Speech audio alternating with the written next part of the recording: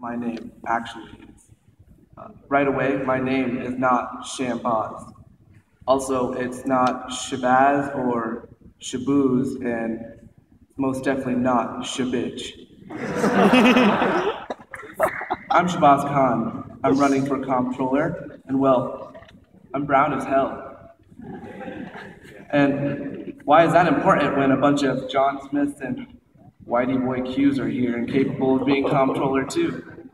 Well, because historically, brown people know their way around money. Fiscal reports, funds, and chicken curry masala are who I am.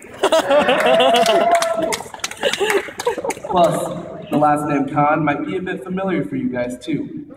Genghis Khan, my spirit animal, is best known for being emperor of the Mongols, a famous genocidal warlord.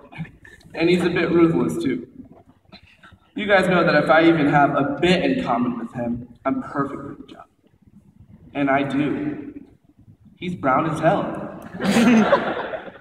Let's look at some more examples. Mahatma Gandhi, peace activist and leader of the Indian Revolution, brown as hell. Shout out to my main Bapu. Also, caramel, sweet and salty, brown as hell.